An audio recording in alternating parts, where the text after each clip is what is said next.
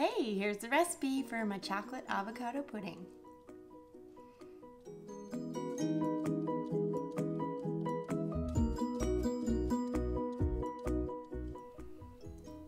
Welcome to my kitchen. I want to show you today how to make an chocolate avocado pudding. So sounds kind of gross, but it's actually amazing. And if you grew up in the same time I did, these would be similar to like the snack pack. So you definitely have to try this.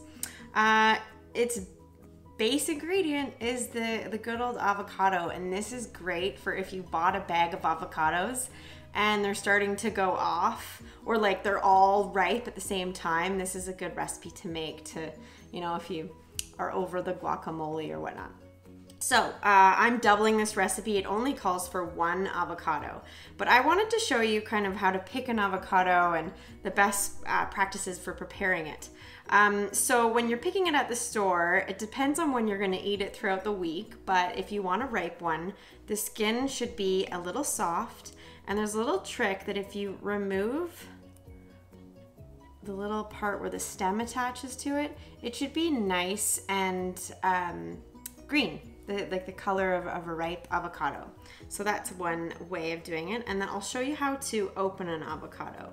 So you got your chef's knife and you slice into the pit there, okay?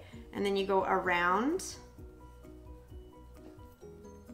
and then you can twist and voila, okay? And then to remove the stone or the pit, you want to Give it a little hiya chop, twist, and remove. Oops. Of course, didn't do it while I was talking to you, but there we go. Um, I can show you guys again how to do that. And then you can just put this in your greens bin. All right, so into the pit, all the way around, watching your hands, twist to open. See, these are nice and ripe. And then to get the pit out, give it a nice chop twist, and remove. Okay, so we've got two avocados here, and then to remove the flesh, we're gonna be using a uh, food processor, which I just have off to the side here. Um, we're gonna remove the flesh of the avocado with a spoon. So you just dig all around and that gets a good quantity of it. If you can't get all of it, you can just go ahead and scrape it. And there you go. And this can also be used as a little vessel if you want to serve it in this too, which is kind of cute. Okay, and then removing this. So avocados are predominantly fat. Oops, excuse me. Two thirds of the avocado is monounsaturated fats, and that's what's really well known in the Mediterranean diet. So it's heart healthy fats and this pudding is full of it. So I'm actually gonna keep these to serve them in because I because they're doing really well. Sometimes they tear, you know. Peak season for avocados is a long time. It runs from June until I think March and peaking in October. So you've got a long avocado season. Um, Okay, so we've got two avocados in there. This recipe calls for one, so you can make it however many you want. But it's really simple from there on. So I've got organic cacao powder, different than cocoa powder, but it can be used interchangeably. Cacao powder is a raw, um, a raw form of the cocoa powder. It just has, it possesses more nutrients. It's more nutrient dense. So put that into the food processor. You could also use a blender. Uh, you could do this by hand too, if you really wanted to. Okay, our sweetener of choice is maple syrup. So it calls for quarter cup, so I've doubled it. And in it goes into the sink. All right, and then vanilla extract, the real deal.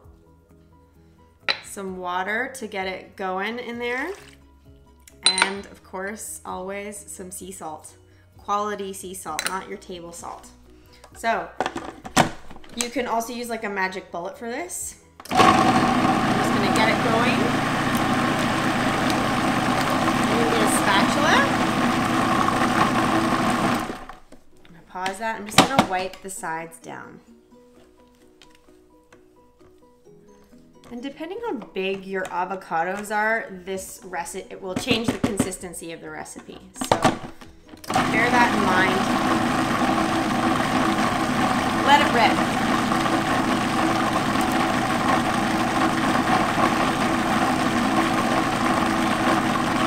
And the best part of making this is tasting it. And make sure you wipe down all the sides because this gets very messy. Doing it in a food processor or blender just gives it that like extra creamy texture. I think this is all done. Okay, I'm gonna serve a tiny little bit of it in the bowl I had the salt in. Check that out. It's just this beautiful, creamy, chocolatey texture. Let's give it a try. Mm. So awesome. It's got like a dark, a dark chocolate taste to it, so it's a lot more rich, but it's absolutely delectable. You can put berries on top of that. You can put a dollop of coconut cream. Coconut yogurt would be excellent too. So you could even serve it up in these little guys. All right, hope you enjoyed that and uh, check out my recipe on my website.